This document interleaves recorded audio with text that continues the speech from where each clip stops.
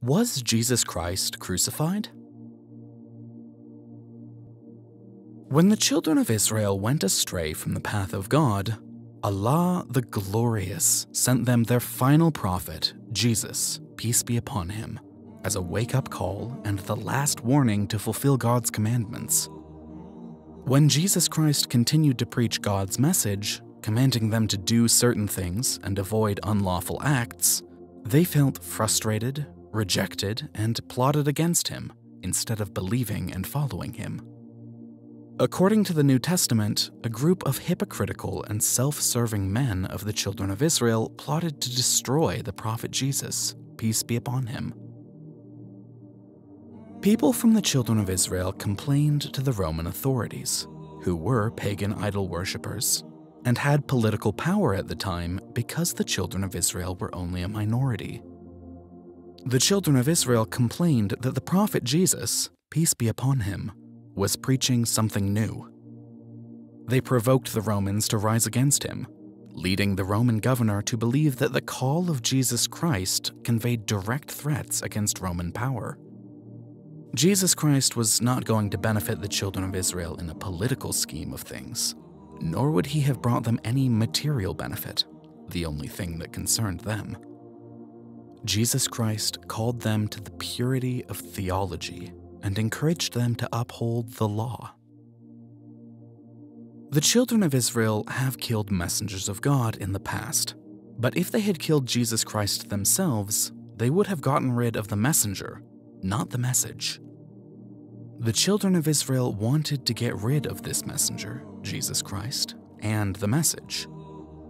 The children of Israel wanted Jesus Christ crucified to discredit him, because according to the law of Moses, in Deuteronomy chapter 21 verse 23, if you crucify someone, they would be cursed by God, indicating to the people that Jesus Christ was not a messenger of God, as how can his messenger be cursed?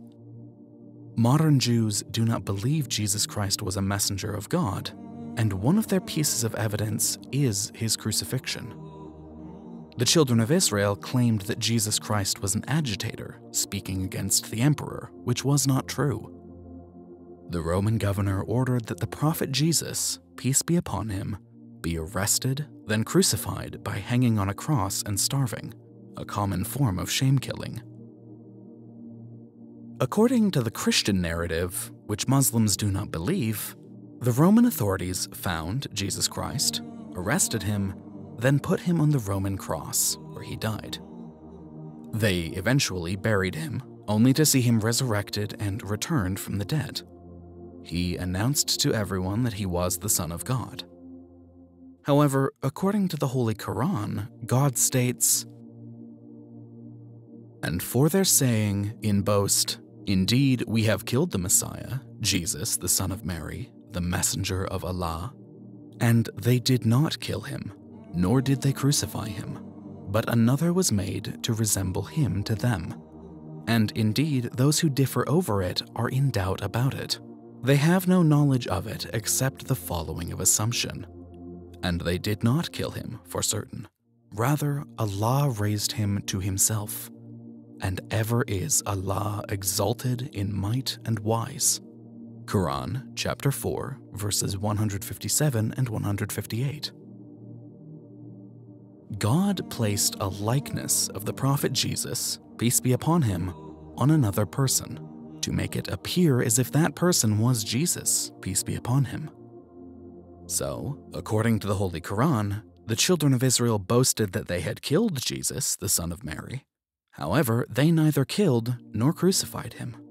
It was only made to appear that Jesus Christ had been crucified.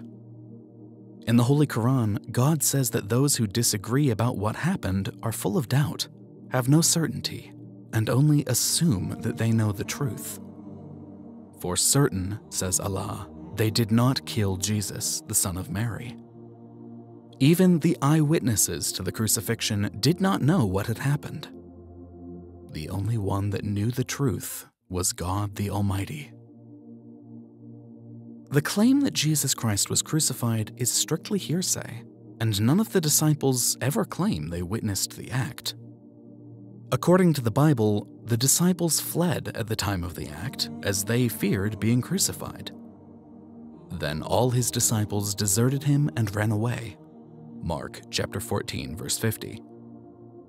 Matthew chapter 27 verse 46 quotes Jesus Christ as crying out and begging his Lord beforehand. About the ninth hour, Jesus cried with a loud voice, saying, My God, my God, why hast thou forsaken me? As Christians claim, does this sound like a person who wanted or volunteered to be crucified? This sounds like someone who would rather be somewhere else. Is there justice in punishing A for what B did?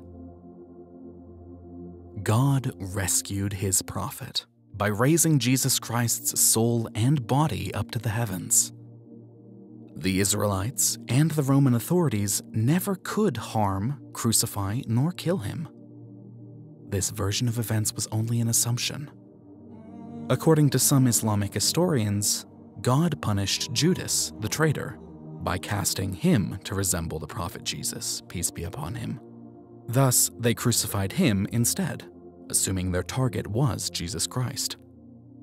Some Islamic historians state that one of the disciples volunteered to take Jesus Christ's place on the cross to save him, and in return, he asked to be joined with Jesus Christ in paradise. But we do not know for sure, as God did not share this portion of the story in detail. Christians believe Jesus Christ was crucified and died for their sins and soon returned from the dead. If Jesus Christ died on the cross as a man, it would not mean anything since the death of a person is insignificant and cannot save anyone. If Jesus Christ died on the cross as a God or Son of God, this would render the act impossible because, by definition, God is ever living and cannot die. Muslims believe that Jesus Christ never died, and instead God raised his body and soul to the heavens to rescue his messenger. God did not allow his messenger to be shamefully crucified. And the disbelievers planned, but Allah planned, and Allah is the best of planners. Quran chapter 3 verse 54. Not only does the Holy Quran state that Jesus Christ was not crucified, but the Bible indicates it too. According to the New Testament, Jesus Christ's disciples were weeping at the thought of their messenger being crucified. They started to doubt his prophethood, as he had told them he would live until the end of time. Both Muslims and Christians believe that Jesus Christ will return at the end of time to guide humanity to God and kill the Antichrist. According to the New Testament, when Jesus Christ arrived, his followers were terrified at the reappearance of a man they thought had been crucified. But as stated earlier, God saved his prophet from the cross. The prophet Jesus, peace be upon him, said to his disciples that he was not crucified and had been rescued by God. He tried to prove that he never died by stating, Look at my hands and my feet it is I, myself. Touch me and see.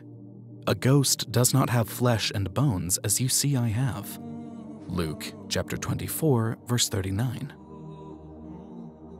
Jesus told his disciples that he was never crucified or dead and proved it by asking how a dead person can have flesh and bones. Why do Christians believe he was crucified when the Bible states that he told his companions to look at his hands and feet? He also ate before his disciples to prove his life. Jesus Christ asked for food that he could eat before them like a human being would, not a spirit or ghost.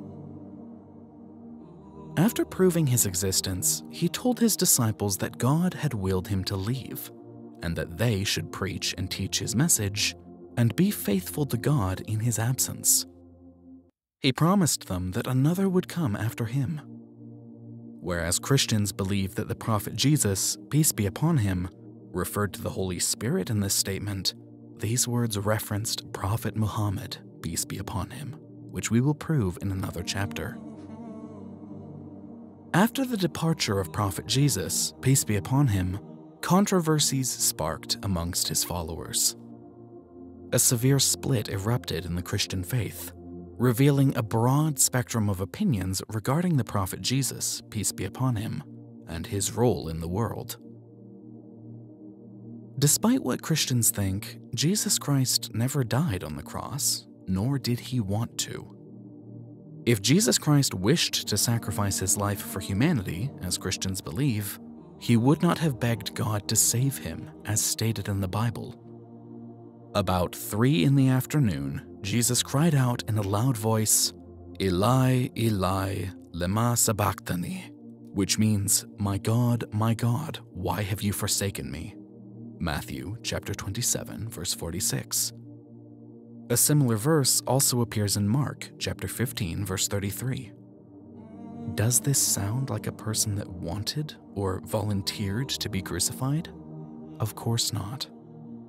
In addition, Deuteronomy chapter 21 verse 23 states that anyone hung on a pole is under God's curse. So, does that mean God cursed Jesus Christ? You must not leave the body hanging on the pole overnight. Be sure to bury it that same day because anyone who is hung on a pole is under God's curse.